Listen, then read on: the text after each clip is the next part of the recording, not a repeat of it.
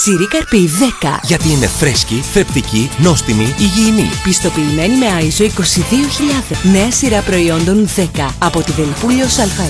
Αναζητήστε τα και πάρτε 10. Τσοτανίδης.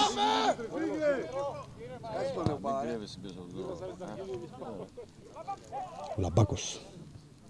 Σαλαμπάσης. Εδώ και το 0-1. 0-1 για τον ε, φιλοξενούμενο στο 10ο λεπτό.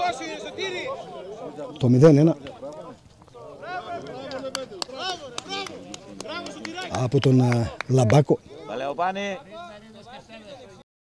Λίγο πριν συμπληρωθούν τα πρώτα 10 λεπτά ο ΑΣ Πέπλος μπροστά στο σκορ με τον ε, Λαμπάκο.